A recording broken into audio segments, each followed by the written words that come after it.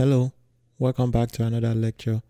In this lecture, we are going to be learning about the revolve cut feature by designing this part. So let's start a new part file. The unit is inch. So we know we can extrude these two circles just to get this feature. But to follow up on the last lecture, let's create the first feature using the revolve method. So we can select sketch.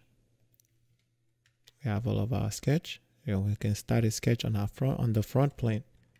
So this is the same example as the last lecture. So again, draw our axis.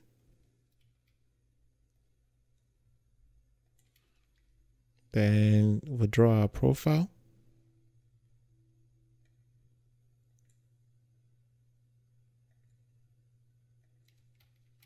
Then we add our dimension. This diameter is 10. And the distance of this line is 3. And from the bottom up is 8. And the diameter on the top is 6. And we will, we are going to close our profile. Come to feature, revolve, and 360 degrees and click OK. So now we have this feature. Next, we are trying to revolve cut the hole in it. So to do that, you can find any plane that is in the middle of this feature. So right now, and my part is bigger than my plane. So what you can do sometimes is you can right click on the plane and if you click auto resize and if I select that again it has make my plane the same size. So right now I can do that for the front plane to auto resize. So now you can see that my right plane is going through through the middle of that part. So if I move it so you can see or my front plane. So anyone will work since we already have our sketch on the front plane, let's use that plane and click sketch, number two.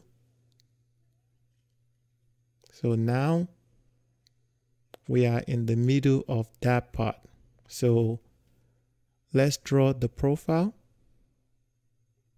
So again, we can just draw our profile in the middle.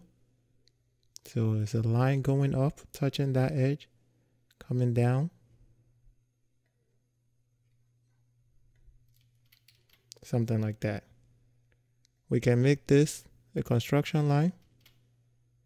Then we can add the diameter, which is 3.5. Then we can close our profile. Again, if we section it, so you can see the sketch we drew is in the middle because that's where we are trying to cut the hole. So next, all we need to do is come to our feature tab. So to section it, to unsection it, all you have to do is click that section again. To section it, you click it and you can select the different sections. So next, all I'll do is come to feature, revolve cut, and it is going to automatically select my profile and my axis we want to cut it 360 degrees is the same options as the revolve and click OK. And we have cut that hole in our part.